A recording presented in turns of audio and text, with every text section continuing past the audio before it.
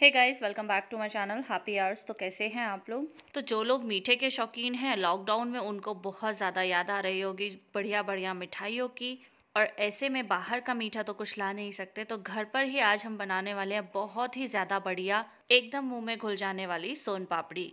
ये रेसिपी बहुत ही ज़्यादा इंटरेस्टिंग होने वाली है और साथ ही साथ मैं सारे टिप्स एंड ट्रिक्स आपके साथ शेयर करूँगी जिससे आप बहुत ही आसानी से घर पर एकदम परफेक्ट वाली सोन पापड़ी बनाएँगे। तो यहाँ पे देखिए, मैं आपको दिखाती हूँ कितनी सारी परतों वाली है। ये देखिए, रेशे देखिए कितने ज़्यादा हैं। एक एक लेयर आप देख सकते हैं, बहुत ही ज़्यादा परफेक्ट बनी है। और यकीन मानिए, आपको ये सोन पापड़ी बनाने में बहुत मज़ा आएगा। तो आप देख सकते हैं कितनी ज़्यादा परफेक्ट बनी है ये हमारी सोन पापड़ी और बिना मशीन के बनाने वाले हैं हम। थोड़ी सी मेहनत लगेगी, पर बहुत ही बढ़िया वाली सोन पापड़ी आप घर पर बना सकते हैं। तो चलिए देर किस बात की रेसिपी स्टार्ट करते हैं। तो सोन पापड़ी बनाने के लिए मैंने यहाँ पे एक कप बेसन लिया है। बेसन हमको पतला वाला ही यूज़ करना है, मोटा बेसन नहीं यूज़ करना है। आधा कप मैदा लिया है। यहाँ पे मैं आपको बता दूँ, अगर आपके घर में बेसन ना हो तो आप केवल मैदा के साथ भी बना सकते हैं और मैदा ना हो तो आप केवल बेसन के साथ भी बना सकते हैं। तो यहाँ पे मैंने लिया है देसी घी, आप चाहें तो इसको डालडा घी में भी बना सकते हैं, लेकिन देसी घी में बनाएँगे तो ज़्यादा टेस्टी बनेगी। मैंने यहाँ पे चार चम्मच घी लिया है। घी को हम ग्रेजुअली मिक्स करने वाले हैं, यानी कि एक साथ सारा घी नहीं डालेंगे धीरे धीरे करके इसमें घी ऐड करेंगे। अभी मैंने एक चम्मच के करीब घी ऐड किया है। तो यहाँ पे ध्यान देने वाली बात यह आती है कि जो मैं घी यूज़ कर रही हूँ वो एकदम जमा हुआ घी है। अगर आप घी को पिघला हुआ यूज़ कर रहे हैं तो यहाँ पे घी की क्वांटिटी थोड़ी ज़्यादा ऐड होगी करीब चार से पाँच चम्मच। अब हम इसमें ऐड कर देंगे बेसन। गैस की फ्लेम को लो रखें और इसके साथ ही ऐड कर देंगे मैदा। मेरा आपको सुझाव होगा अगर आप फ़र्स्ट टाइम सोन पापड़ी बना रहे हैं या फिर आप अकेले बना रहे हैं तो बस इतनी ही क्वांटिटी में बनाएँ। अगर आप ज़्यादा क्वांटिटी में बनाना चाहते हैं तो किसी की हेल्प आपको ज़रूर लेनी पड़ेगी। तो अब हमने लो मीडियम फ्लेम पे इन दोनों चीज़ों को अच्छे से मिक्स करना है। और मिक्स करने के बाद मैंने यहाँ पे एक चम्मच घी और ऐड कर दिया है, क्योंकि घी को हम ग्रेजुअली ऐड करेंगे, एक साथ ऐड नहीं करने वाले हैं। तो धीरे धीरे करके इनको मिक्स करते जाएँगे और थोड़ा थोड़ा भूनते जाएँगे और घी को ऐड करते जाएँगे। तो दो मिनट भूनने के बाद फिर से मैंने एक चम्मच और घी डाल दिया है और फिर से हमने वापस से इन सबको मिक्स कर लेना है। याद रहे, गैस की फ्लेम हाई नहीं करेंगे बिल्कुल भी, लो मीडियम फ्लेम पे ही हमने इसको भूनना है ताकि अच्छी फ्रेगरेंस और अच्छा सा कलर इसमें आ सके। अगर आप इसको हाई फ्लेम पे भूनेंगे तो ये जल जाएगा बहुत जल्दी से और उतना अच्छा नहीं बनेगा। तो बस इसको लगातार चलाते रहेंगे। तो यहाँ देखिए अब धीरे धीरे क्योंकि ये बेसन और मैदा भुनने लगा है तो यहाँ पे इन्होंने अपना घी जो है रिलीज़ करना स्टार्ट कर दिया है। और कलर देख सकते हैं, बेसन का कलर भी एकदम चेंज हो गया है, लाइट ब्राउन जैसा हो गया है। बहुत ज़्यादा आप इसको नहीं भुनेंगे क्योंकि अच्छे से रोस्ट हो गया एक अच्छी अरोमा वाली इसकी स्मेल आ रही है। और अब यहाँ पे आती है ध्यान देने वाली बात। हमने गैस की फ्लेम अब यहाँ पे ऑफ़ कर देनी है, लेकिन गैस की फ्लेम ऑफ़ करने के बाद भी आपको इसको लगातार चलाते रहना है, क्योंकि कढ़ाई का जो टेम्परेचर है वो काफ़ी हाई है। अगर आप ऐसे ही इसको छोड़ देंगे तो ये जल जाएगा। तो इसको नॉर्मल टेम्परेचर आने तक चलाते रहें। तो अब बना लेते हैं चाशनी। तो चाशनी के लिए मैंने यहाँ पे एक पैन ले लिया है, जिसमें मैंने ऐड कर दी है एक कप चीनी। और इसके साथ ही आधा कप चीनी और ऐड करेंगे, यानी कि टोटल हमने डेढ़ कप चीनी ऐड करी है। जितनी क्वांटिटी में हमने बेसन और मैदा को ऐड किया था, उतनी ही क्वांटिटी में हमने चीनी को ऐड करना है।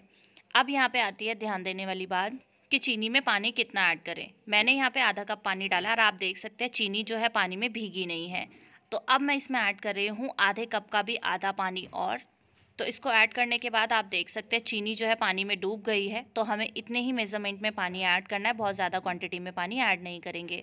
तो पहले हम इसको चीनी घुलने तक पका लेते हैं, उसके बाद चाशनी बनाएँगे।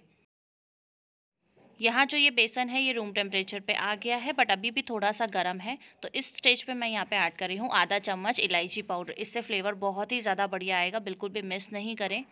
हाँ अगर आपको इलायची नहीं पसंद है तो आप ज़रूर स्किप कर सकते हैं। तो बस इसको आपस में अच्छे से मिक्स कर देंगे और अब हमने इसको छोड़ देना है ताकि इसका जो फ्रेग्रेंस है, वो इस पूरे बेसन में अच्छे से आ जाए। तो दूसरी साइड हमारी जो चाशनी है, वो अच्छे से चीनी इसमें देखो घुल गई है, लेकिन अभी ये ना थिकनेस में नहीं आई तो अभी हमने इसको और पका लेना है।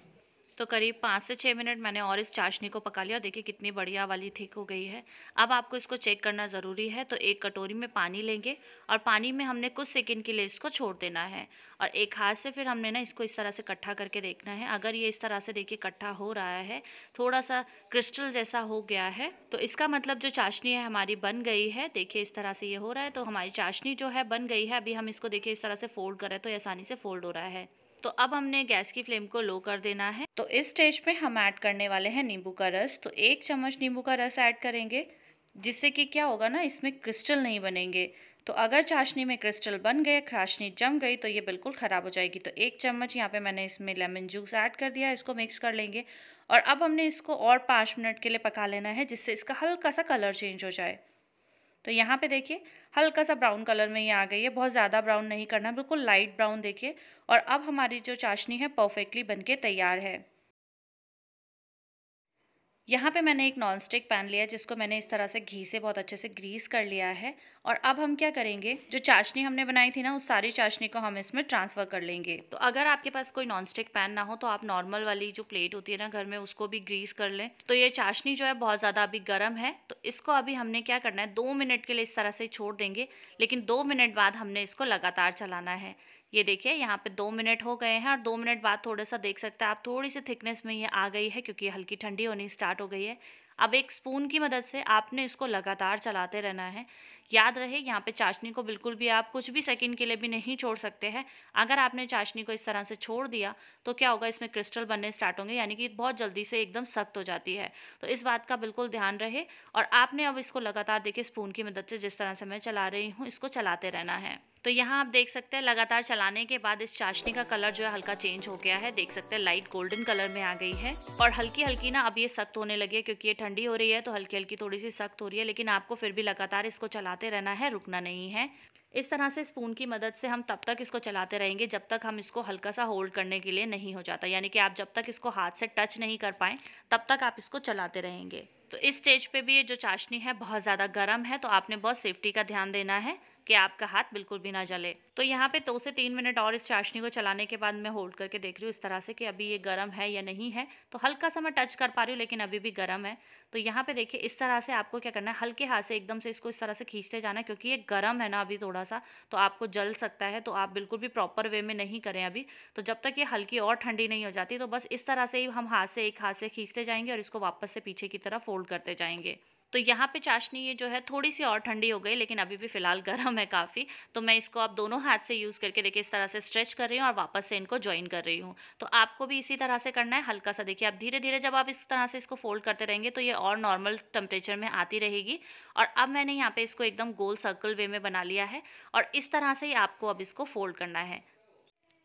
तो अब मैंने देखिए इस तरह से फिर से इसको सर्कल बना लिया है और अब आपने फिर से दोनों हाथों की मदद से इसको खींच खींच के वापस से फोल्ड करना है और फिर से सर्कल की शेप में लाना है। फोल्ड करना है, फिर से सर्कल की शेप में लाना है। और यहाँ पे आप देख सकते हैं शुगर का कलर जो है बहुत ज़्यादा चेंज हो गया है और जब तक आप इसको जितना ज़्यादा देर तक करते रहेंगे ना, ये थोड़ा थोड़ा देर में ना और ज़्यादा सख्त होती जाएगी। तो आपको इस प्रोसेस को जल्दी जल्दी करना है, बस इसको ठंडे नहीं होने देना है। तो इस तरह से स्ट्रेच करते जाएँ। तो करीब सात से आठ मिनट मुझे हो गए इस तरह से इसको स्ट्रेच करते हुए और आप देख सकते हैं कलर बिल्कुल चेंज हो गया और अब ना ये खिंच भी नहीं रही है, बहुत ज़्यादा सख्त भी हो गई है। तो अब आपको क्या करना है, इस तरह से बस इसको लास्ट स्टेज तक फोल्ड करना है। तो बस सर्कल आपको टूटने नहीं देना है, क्योंकि अगर आपको रेशे एकदम इक्वल चाहिए तो आप सर्कल को टूटने ना दें। तो इस तरह से देखिए, अब ये स्ट्रेच होनी ना थोड़ी सी कम हो गई है, बहुत ज़्यादा इसमें ताकत लग रही है। और कलर देख सकते हैं, बिल्कुल एकदम लाइट बिल्कुल वाइट कलर में जिस तरह से हो गया है। तो बस अब ये परफेक्टली सोन पापड़ी बनाने के लिए तैयार है तो इसको वापस से हमने सर्कल शेप में कर देना है। इस तरह से देखिए। और अब फटाफट से हमने जो बेसन का घोल बनाया था ना, उसको मैंने इस परात में ट्रांसफ़र कर लिया है और ये जो हमने शुगर का रोल बनाया ना, इसको भी इसमें रख दिया है। और अब हमने इसको अच्छे से इस तरह से देखिए, इस पूरे घोल में ना मिला मिला के वापस से खींचना स्टार्ट करना है। अच्छे से बेसन का घोल इसके ऊपर लगाते जाएँ, इसको इस तरह से स्ट्रेच करते जाएँ। वापस से सर्कल शेप में ही इसको फोल्ड करना है आपको। ध्यान इस बात का दे कि इसको सर्कल शेप में ही रखिएगा अदरवाइज़ क्या होगा ना, जो रेशे हैं ना, वो एकदम प्रॉपर नहीं बन पाते हैं। तो बस आपको ये बेसन वाला लिक्विड इसमें लगाते जाना है और इसको खींचते जाना है। बस ध्यान दें कि आपको इसको जल्दी जल्दी करना है ताकि टाइम ना लगे। अगर आपने ज़्यादा टाइम इसको ले लिया तो ये क्या होगा ना, जो शुगर है वो सख्त हो जाएगी और ये जो बेसन का घोल है ना, इसमें पूरा नहीं लग पाएगा। तो बस इसको फोल्ड करते जाएँगे, खींचते जाएँगे और वापस से फोल्ड करते जाएँगे।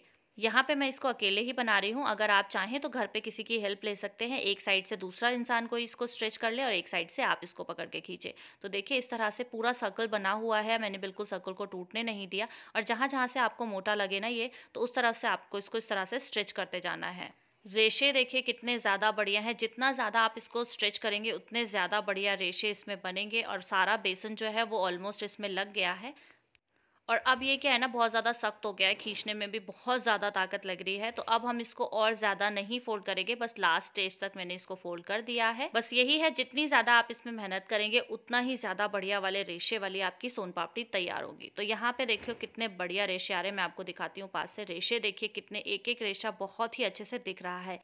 तो अब हमने फटाफट से इसको सेट करना है, जिसके लिए मैंने सिल्वर फॉइल के ऊपर घी लगा लिया है। इन दोनों को ना देखो सर्कल शेप में है तो दोनों साइड से इन सर्कल को मैं कट कर रही हूँ। तो क्योंकि ये बहुत जल्दी ठंडा हो जाता है तो आपने इसको फटाफट से सेट कर लेना है, हाथों की मदद से प्रेस करते हुए। अगर आप इसको ज़ोर से प्रेस करेंगे तो डरिए नहीं, बिल्कुल भी ख़राब नहीं होंगे रेशे आपके बिल्कुल परफेक्ट बने रहेंगे।